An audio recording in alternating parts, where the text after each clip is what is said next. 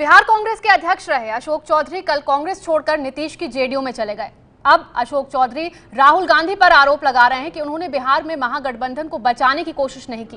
पाला बदलने के बाद अशोक चौधरी अब कह रहे हैं कि उन्हें नीतीश का चपरासी बनना भी मंजूर है। कांग्रेस पार्टी में बगावत पार्ट वन। ये है मामला अशोक चौधरी, जो बिहार के पूर्व मंत्री और कांग्रेस के कद्दावर नेता रहे हैं, अब जेडीयू में शामिल हो गए हैं। आपको लगता है कि नीतीश कुमार महागठबंधन छोड़ के अलग हुए थे? राहुल गांधी उसमें इंटरवीन नहीं किए थे। ये बहुत बड़ी गलती थी राहुल गांधी की?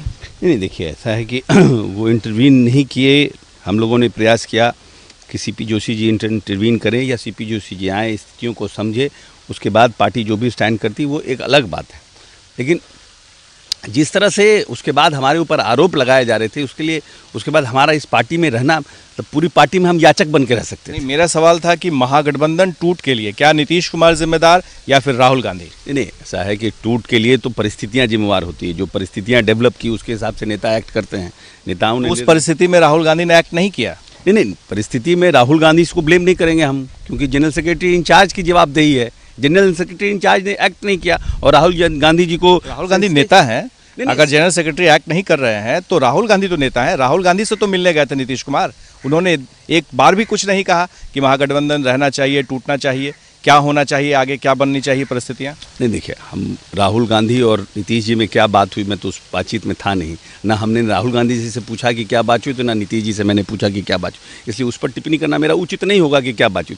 लेकिन जो परिस्थितियाँ बनी थी उस परिस्थितियाँ में एक एफर्ट जो होना चाहिए था कहीं ना कहीं उस एफर्ट में कमी हुई। उन्नीस सौ बावन के बाद मैं पहला कांग्रेस का अध्यक्ष हूँ जिसने परफॉर्मेंस दिया उसको पार्टी ने हटा दिया। और कैसे पार्टी चलेगी भाई? भाई कांग्रेस 43 पर हो गया। क्यों हो गया?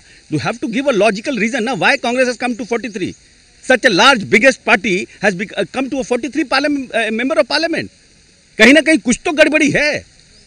कुछ तो गड़बड़ी है।